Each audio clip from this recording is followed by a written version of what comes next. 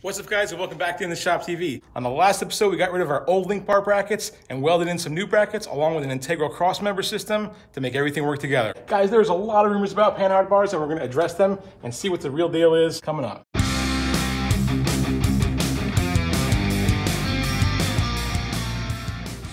Guys, there is still time to enter the 1,000 subscriber giveaway, so if you haven't done so already, comment subscribed in the comments below, and you're automatically entered. And we'll pick a winner at random, and you'll win a free digital level. But before we get started on the panhard bar, we have some bridges here that we're gonna weld in right to our step notches right here, and get this frame kind of solidified and a bit more rigid. So what I'm doing right now is I'm grinding down the welds on the inside of my step notches, just in the top portion where my bars are gonna mount to. I don't generally like to grind down the welds because it will weaken the structure.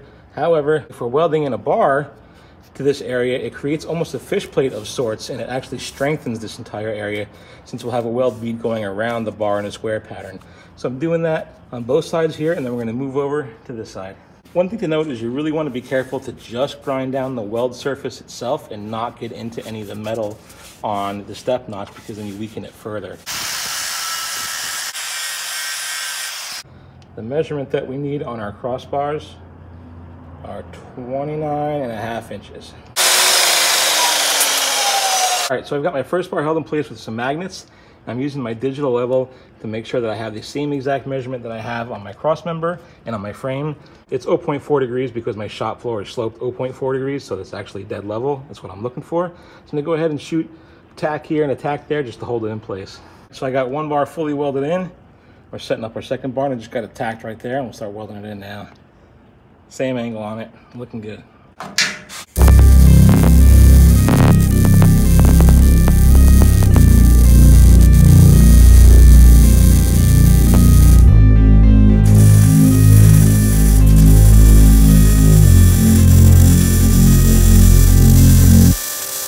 All right, so our bridge bars, as I'm gonna call them, are completely welded on. Our angle held throughout the welding and everything's looking pretty good. Now it's time to focus our attention on the panhard bar and the rumors surrounding them. Panhard bars, as we discussed, is just a bar that goes from side to side from your frame to your axle to keep your axle from moving laterally, sideways in your frame. That's it, that's all that they do. However, there's some rules that we need to follow. We have to understand that there's going to be some lateral movement, but if it's set up correctly, the lateral movement will be kept very minimal. So the first thing we're to talk about is arc, and one of the first rumors that is you can't use a short panhard bar because when you shorten the distance from the frame to the axle point, you create a larger arc when that axle moves up and down, which gives you more side-to-side -side motion. That's true in a sense, but here's the rumor to it. It's not entirely accurate because if you set it up properly where the point of attachment on the frame is even in height to the point of attachment on the axle, even with a short panhard bar, the lateral side-to-side -side movement will be extremely minimal as well. A lot of people think that you can put a bend in the panhard bar just as long as the end of the bar is parallel with the ground, but the points are not. In fact, my kit came with a panhard bar, something like that. So this is meant to be attached to the side of the frame. This is supposed to be parallel with the ground, and then this part dips down and attaches to the axle. Now, you could run this this way too, so it's straight up and down, there's just a ridge in the center of it, which would be much better. The problem with the bar that's attached to the frame on the side and dips down towards the axle is what we just mentioned before, is that the attachment points are not equal to the ground. That's really important. What happens is, if our attachment point is up here on the frame and the bar dips down to the axle, which is ironically on many, many different production vehicles, it works, but it, here's why it's wrong. It's gonna create, remember we spoke about an arc? As that bar comes up and down, being that the bottom dips down and the attachment point is higher than it here, it's going to create excessive lateral side-to-side movement. Whereas the bar, if you put it with a ridge in the center, it's the same as a straight bar and the attachment points are the same. Everything works out good. So the other theory, which is true and not true at the same time, is you want to run the longest bar possible and that will create the shortest arc, right? Because your attachment points are further apart and as you arc up, you have much less of a movement. Now, that's true, but your attachment points still have to be equal heights off the ground or your geometry is all messed up. In fact, if you run a long bar and your attachment points are not even, you're really going to sway down and push the axle from side to side when that axle droops or bumps. That's why I'm dispelling the myth of the short bar being no good. You're better off having a short bar where your attachment points have the same exact geometry and the same height off the ground than a really long bar where your attachment points are not even, your panhard bar is crooked. That said, what are we doing with our vehicle? Well, again, it came with this panhard bar. I could run it in this configuration where it's kind of straight up like a hump in the center and it just goes over the differential like that. The problem with that is if I do if I do it that way, this end link here, this attachment point where it attaches to the frame, um, it's gonna have to kind of dip down below where that step notch is and it might create almost a bump stop of sorts on the axle, which I'm really trying to avoid. Um, secondly, it creates a high point here, which might possibly, when the axle comes up, make it rise above those bars that we just installed, those um, those bridge bars. That's going to be kind of the height of the bed floor, so you don't really want that poking up beyond that point. So again, another piece of my kit I don't think I'm going to use. What I do think I'm going to do is I'm to use the attachment that they gave us for our panhard bar that goes to the side of the frame, and I'm going to take another link bar that we have left over from the kit, and I'm to do a straight panhard bar off the side of the frame to the front of the 8.8 axle, which has three holes already drilled in it by the pinion that there was like a, a, a balancer there or something like that, or an anti-vibration balancer on the front of it.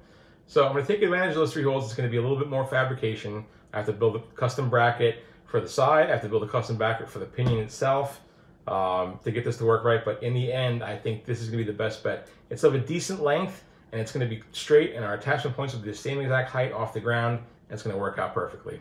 All right, so this is the area we're going to mount our panhard bar bracket on the axle housing. What I'm going to do, I've got just a piece of cardboard here, so I'm going to make myself a template. So here's our basic shape.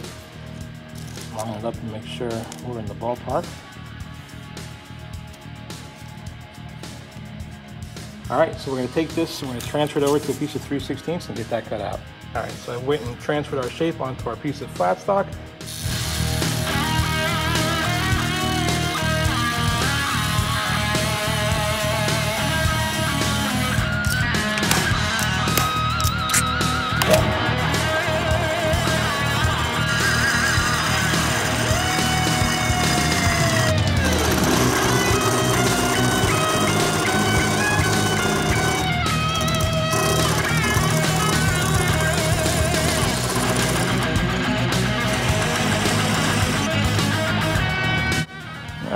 Moment of truth.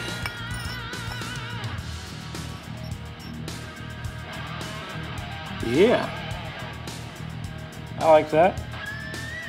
I'll drop two bolts in there just to hold it in place for the time being. You know what, on second thought, let me take these out and grind off all this mill scale and clean up the metal and get it ready to weld.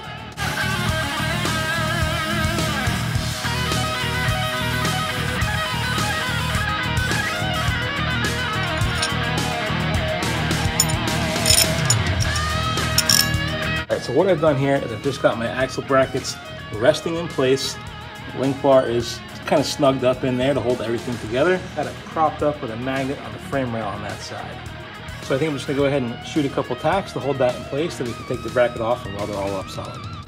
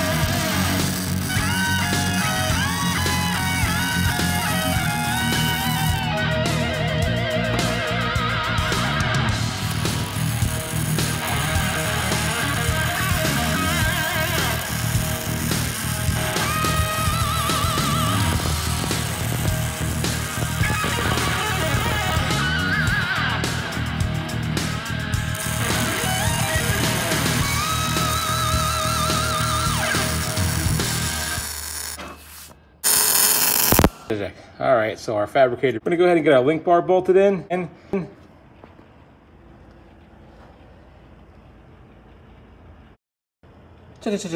All right, so on between the step plate and the frame, so what I'm gonna do is take the opportunity to box this in with a plate and then mount our bracket to the plate. I've got a boxing plate just kind of clamped to the frame plate just kind of clamped to the frame and to the. All right, so we got our plate and cut and fit up nice. Everything's ground down, ready to be welded. I'm gonna go ahead and get that in.